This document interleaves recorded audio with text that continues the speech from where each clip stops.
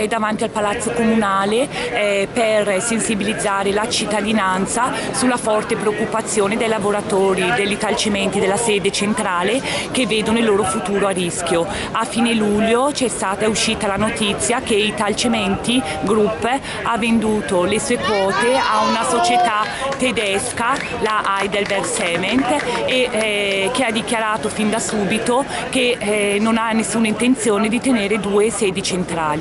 Quindi qua a Bergamo ci sono 800 lavoratori, eh, 700 che lavorano in sede centrale e un centinaio che lavorano al centro di ricerca. Abbiamo attivato fin da subito il Ministero dello Sviluppo Economico che è l'unico che in questo momento può eh, parlare con i tedeschi e farsi illustrare il piano eh, industriale. Eh, oltre a questa iniziativa noi eh, venerdì faremo un'assemblea pubblica aperta a tutta la cittadinanza, ai lavoratori dell'Italcementi e a tutta la politica. Abbiamo fatto delle nostre proposte per salvare i posti di lavoro, ossia che eh, Bergamo, l'Italia, eh,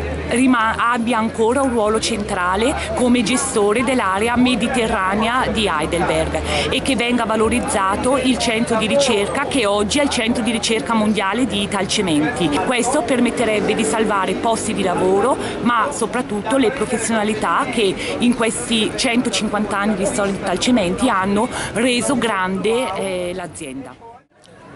chiamo Fabio Paris, sono un dipendente della cementeria di Calusco d'Adda. Oggi sono qui a manifestare in questo presidio assieme ai miei colleghi della sede centrale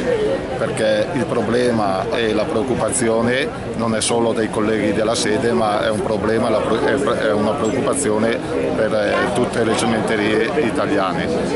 Noi ci stiamo muovendo perché vogliamo certezze per il nostro futuro, vogliamo la sicurezza del nostro posto di lavoro, vogliamo capire capire un attimino un po' anche con la nuova dirigenza dove, voglia, dove vogliono arrivare.